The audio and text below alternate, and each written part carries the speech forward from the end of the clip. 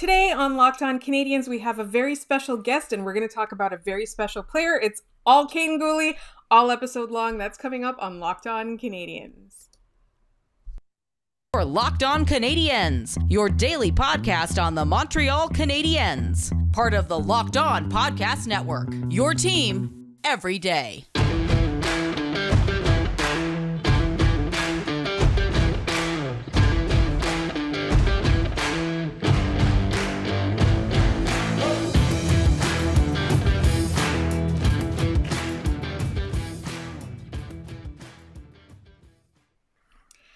Hi there, everyone, and welcome to episode 643 of Locked On Canadiens as well as Locked On Oilers. My name is Laura Sava, one of your hosts. And I'm joined, as always, by my wonderful co host, Scott Matlin. Today, we're doing a very special crossover. This is the first ever crossover between Locked On Canadiens and Locked On Oilers. We've done hey. guest spots. But we have a special guest because our listeners keep asking for it, and I know it's really topical in Edmonton right now. So, Brett Holden of Locked On Oilers, hello, and thank you for doing this joint episode with us. Hey, thank you so much for having me. Yeah, I would say finally we have playoff hockey, but we did have some playoff hockey for the Oilers. but but we do have some fun playoff hockey here in town. Someone to actually cheer for right now that's exciting and, and that's something that to be honest that I, I feel like up until the memorial cup was in shawinigan i wasn't paying all that much attention to it. Now this is now this is a few years back but with the Canadiens having so many prospects particularly prospects on this side of the pond um, and making it into the memorial cup particularly this year there's so much to talk about but what we want to talk to you about is Kaiden Guhle because you've gotten to watch him for quite some time and all our listeners want to know about him so i guess maybe let's talk about how his season has been in your estimation. I know he was traded onto the Oil Kings and then take it away. yeah. Well, he, he was sent to the Oil Kings on uh, December 1st in 2021. He was sent over for actually uh, Ottawa Senators prospect uh, Carson Latimer and a 13th overall pick in the uh, 2021 WHL draft. He came over right before the uh, World Junior Hockey Championship or the Canadian uh, training camp that they had for for that and or whatever they call that uh, camp that they have there. And uh, so he didn't necessarily suit up for the oil kings right away after the trade. So everyone was like ooh this kid's coming over from prince albert. And uh, well, as soon as he came back from the the world juniors that was uh, unfortunately canceled but a lot of Edmonton Oilers, Oil Kings fans, I should say, got to watch him in Edmonton for the World Juniors, and you saw just uh, he's the captain, so you got to see that leadership quality that he has as well. But you also got to see the the banging bodies that he just loves to do. Uh, he has had a great season so far for the Oil Kings. He stepped up. It seemed like uh, was going to be the Oil Kings' number one uh, uh, defenseman. And then he Guhle came in, and ever since then, Guhle and Prokop as well have really ran that defense for the Oil Kings. It's funny is that I look at it and I go, ah, oh, he only had 25 points in Edmonton. Like for a guy who's, you know, a little more mature than he is, then I look at it and went, oh, he only played 25 games. So he's a point per game as a defenseman. And offense isn't what he's really known for. He's known for being that physical, kind of smart defensive defenseman.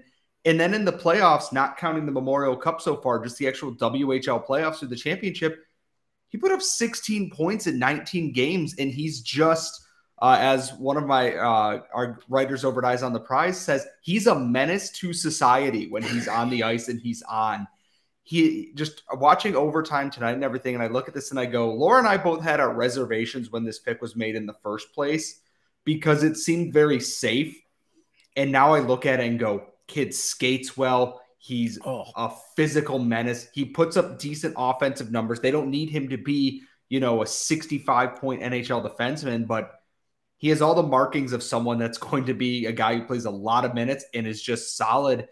His his growth as an overall player this year has been a treat to watch as someone who doesn't get to watch a ton of the WHL because 10 30 starts are a no bueno kind of thing when you live on the East Coast, unfortunately. So I, I trust what I see in highlights and checking the score sheets. And I I am so excited for Kaiden Guhle at the professional level. And based on what you're telling us, like I'm glad that he got to Edmonton and everyone was like, hell yeah, Kaiden Guhle rules because hell yeah, Kaiden Guhle rules, man. Like, yeah, just impressive.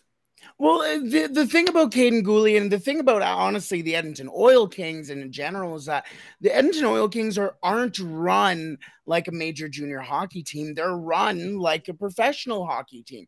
They have all of these these organizations inside of the organization. They have all these different things for the Oil Kings players to really get the most out of themselves as not only players but as human beings as well. You take a look at all the guys that the Oil Kings have on this team. Not only do they have Kaiden Guhle, they have guys like they traded for Luke Prokop, who is an Edmonton boy, but he's a third round pick for the Nashville Predators. You have guys like uh, Jakub Demek, who's a, a pick for uh, the Vegas Golden Knights, Jake Neighbors for the St. Louis Blues, Justin Sourdif you got for the Florida Panthers. You've got a plethora. I haven't even mentioned Dylan Guenther either, who went in the top 10 as well. You have a ton of guys who are professionals already. Jake Neighbors played NHL games.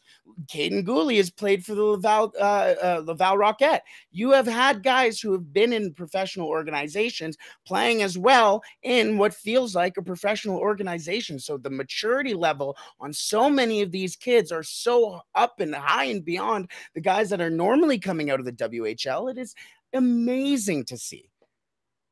And we're going to talk in just one moment about what Kaiden Guhle still needs to work on to improve as he gets to the professional level. I'm excited to ask Brett a couple more questions, but first, we got to tell you about Built Bar. Built oh. Bar is one of our favorite sponsors. They are delicious, and it is a protein bar that tastes like a candy bar. And if you're like me, you have crazy busy days and you need your energy, I get that 3 p.m. need for pick me up, or sometimes I forget breakfast. What I'll do is I'll pull out a Built Bar it, it's literally like eating a candy bar, but they're high in protein and they're low in sugar, which is so important because it picks my energy back up. And Scott and Carly take them on hikes with them, and you can do that. You can you can have it in your gym bag. You can you can you know anytime. It's an anytime kind of thing, and they're all so good and so high in protein. They have flavors like flavors like mud pie. I mean, are you kidding me? And then you've got granola bars. They're so so good. And if you want to try these built bars that we keep talking about, what you're gonna do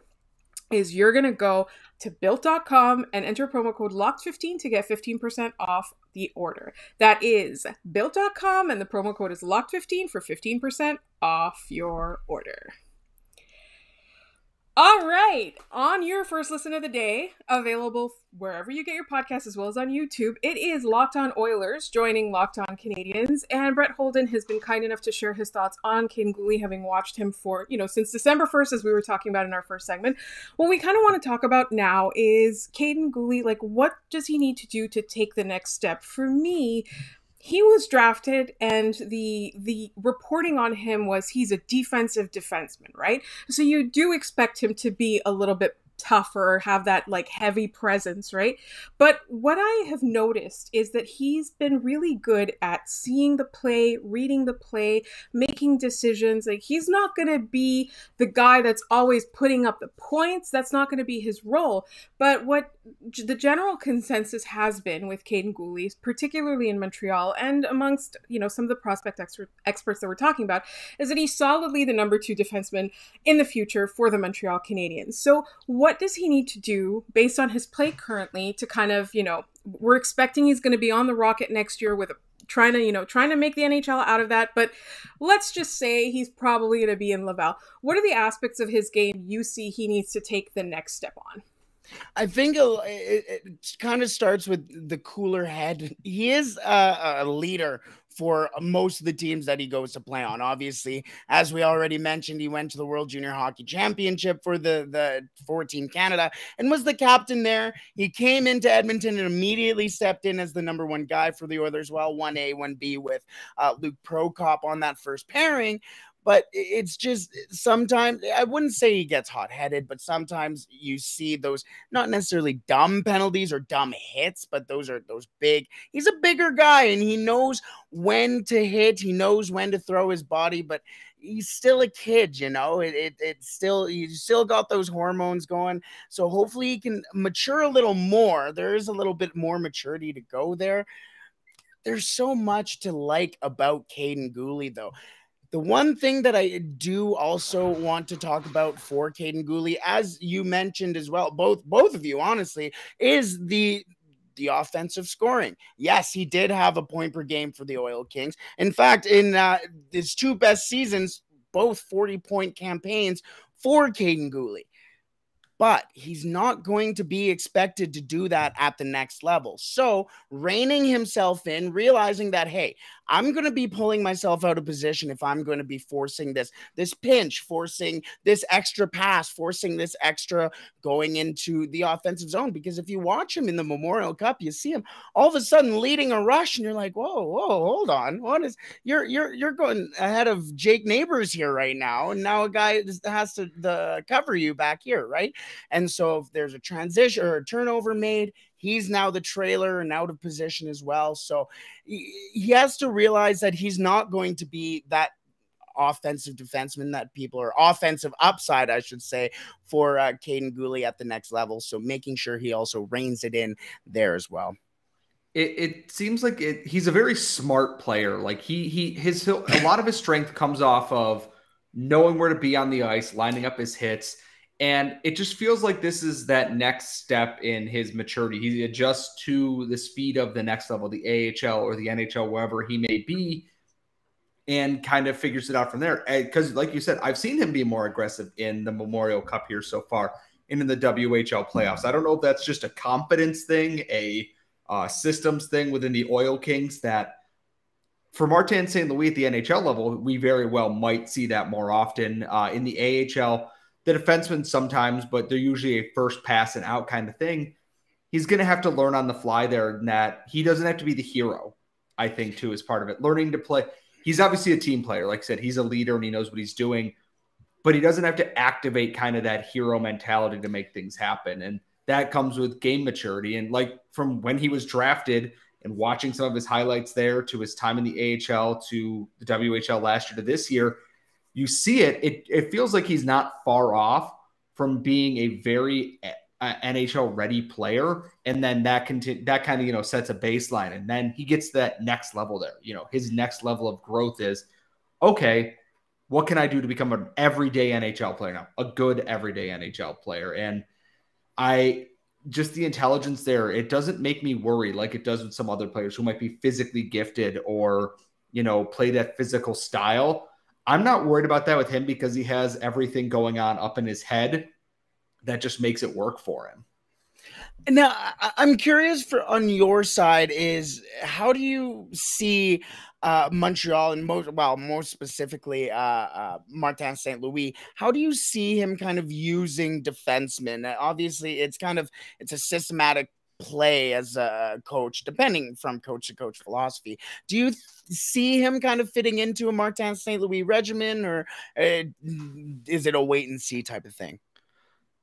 It's it's tough to say because the one issue Laura and I both had under Martin St. Louis is that the defensive knowledge or the defensive systems weren't quite where we wanted them to be and their current uh, guy who runs the defense, Luke Richardson, is interviewing for the job in Chicago. So they might have a new defensive systems coach here.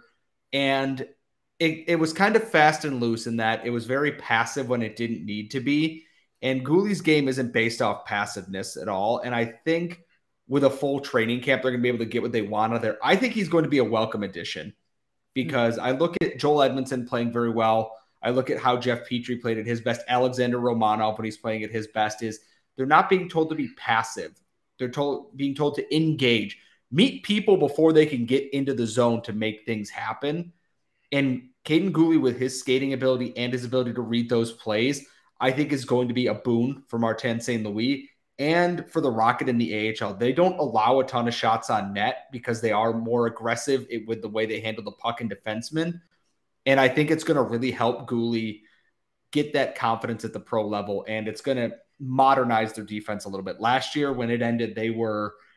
Uh, I, I don't feel bad saying they were terrible. They were awful defensively, and that was with trades happening and obviously Shea Weber being out. I think Kaiden Guhle uh, could very quickly endear himself to Martin St. Louis and whatever coach uh, he hmm. plays for in Montreal or Laval next season.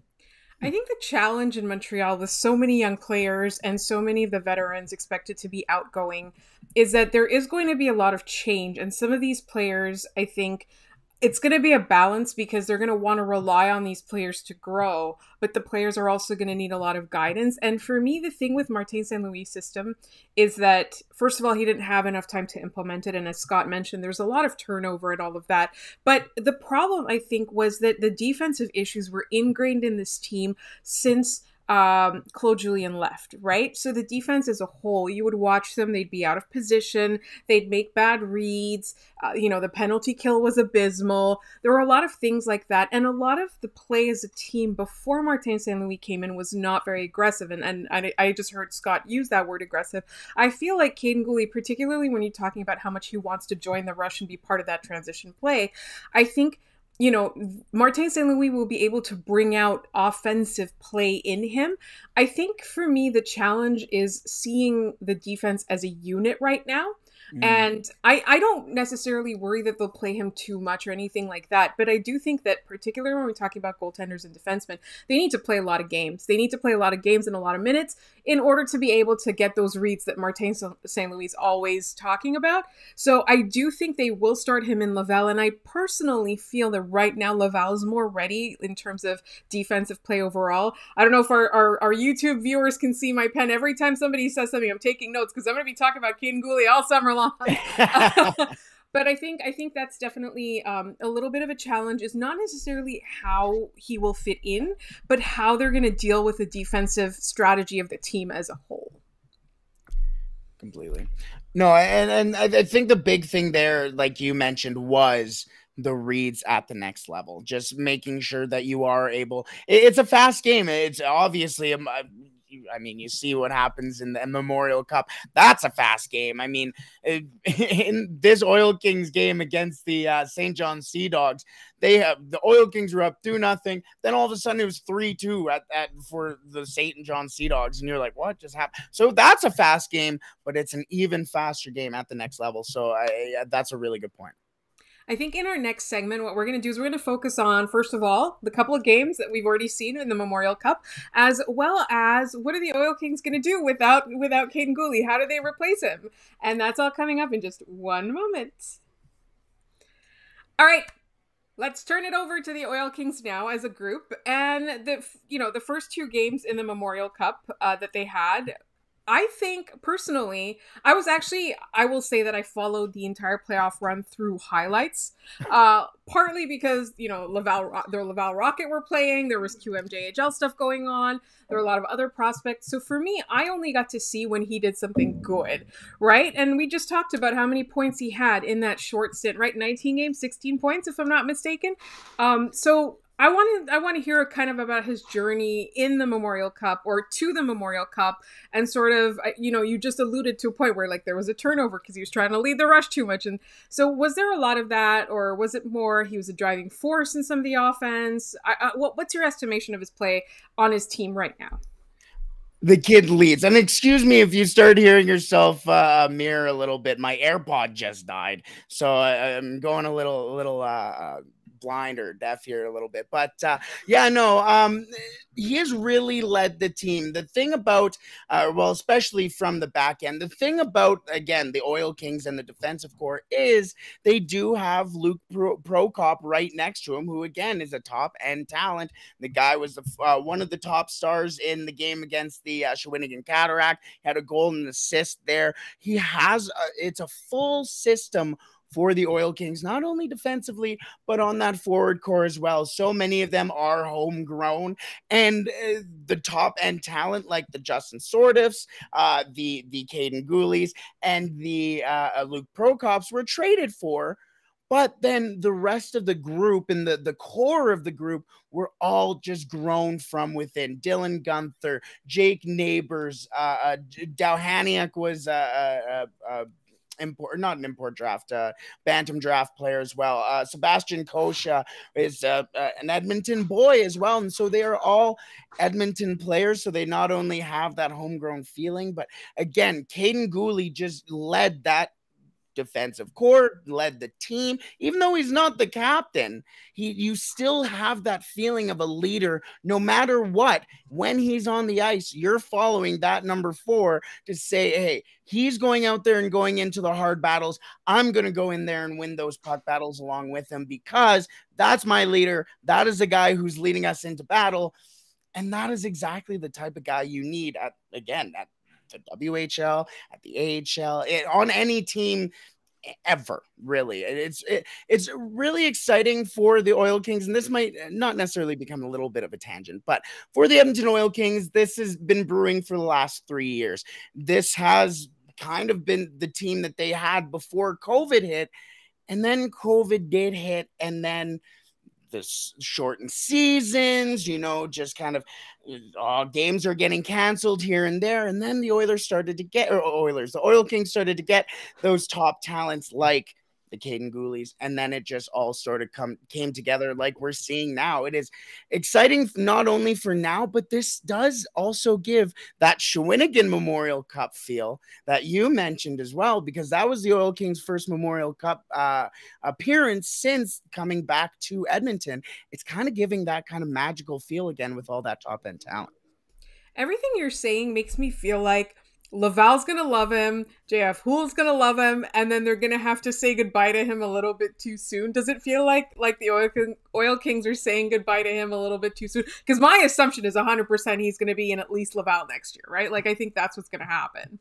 Oh, a hundred percent. I was thinking about it today, just watching him, and I'm like, man, like uh, thinking about all the players that they have on this team, and you're like, Ah, oh, are they going to be back next year? Oh, well, now they're going to take the next step.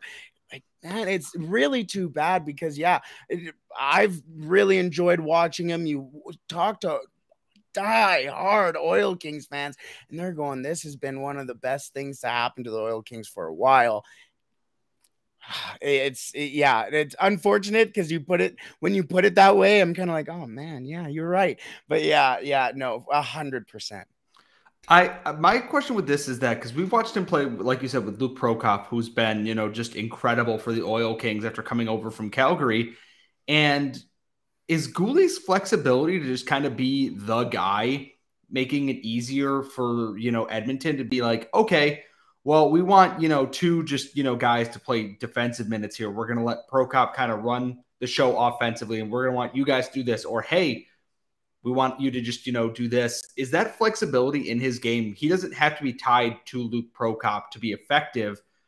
That that has to endear him to coaches, just that flexibility. And like you said, it's tough that he's been here 25 games plus the playoff run, and then it's that's how the CHL works. So unless you're like basically London, where you just cycle talent and every four to five years, then this team's good and these teams are bad this is Edmonton at their peak right now. Like I said, you've got Guenther, you've got Prokop, you've got Guhle, you've got all these pieces. Make the most of it, right? And that flexibility and the professionalism of a lot of these players, you know, it shows a lot. Yeah, and that, and that's the thing is they are consummate pros no matter like it, it, it almost again goes back to what we were saying about the the organization as a whole. It it is run like a professional club and it, again, it's not only for them as a player, but them as a person. So yeah, as soon as Kaiden Guhle, again, he did obviously have Luke Prokop this season with the Oil Kings, but he was drafted as a Prince Albert Raider. He was drafted 16th overall as a, a, a, a Prince Albert Raider he has that professionalism in him. No matter where he's going to go, no matter where he's going to step into, he will be the guy. And uh, whether that is the number one guy or the guy or the number two guy, he will be right there for you, being just as effective as anybody else on the team. I think Habs fans are really excited. As we mentioned prior to recording, to us, Kaiden Guhle is the next number one prospect on in the system right now until they draft first overall, and we'll see what happens after they draft first overall. Um, you know, I, I personally, I think everybody's excited to see him play, not just in Laval, but in Montreal. And, you know, I think he has the capability to be the guy in Montreal, especially if the expectations aren't too fast. I know the expectations are always going to be high because it is Montreal. As long as the expectations aren't too soon, I think is is the way is the way for us to go. So I think before we go, I just wanted to to ask if you had any parting thoughts for Locked On Oilers listeners about the Oil Kings and Guhle and the Memorial Cup.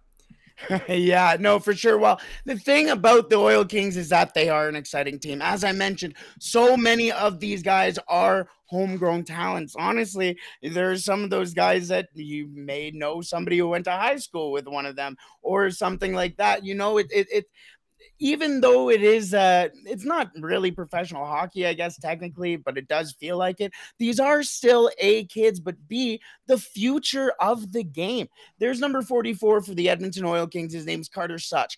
I watched his first game. In fact i was in college when he was still in uh, when he was playing his first game. It was one of the first oil kings games that i covered as i don't want to say professional because it was it was i was a student at the time but i got to watch him grow from that game to tonight where he was throwing deeks in the Memorial Cup, just looking top notch and you you know you get to grow along with this team and it's so exciting to see. I think Carter Souch should be a guy who's taken in the draft.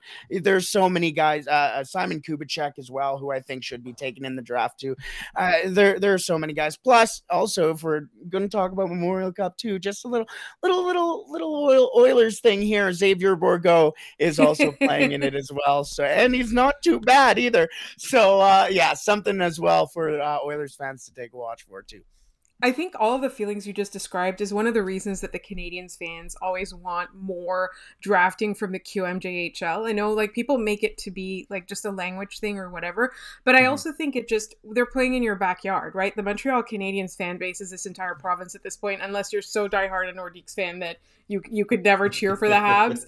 but you know, there's there are a lot of players in the queue that you watch, you get attached to, and I think for us this season, what's happened with Riley Kidney and particularly Joshua Roy was there was an excitement. There was there was like uh, it felt like a connection with for the Habs, and so like that's I think that's kind of what you're describing with with the Oil Kings there, and so that is one of the reasons I think it's it, it always gets reduced to language or politics, but no, it's it's really feeling connected to the players, being able to just, you know, see them on a Saturday night or Friday night yeah. or wherever it, whenever it is that they play. They, they sometimes have odd schedules.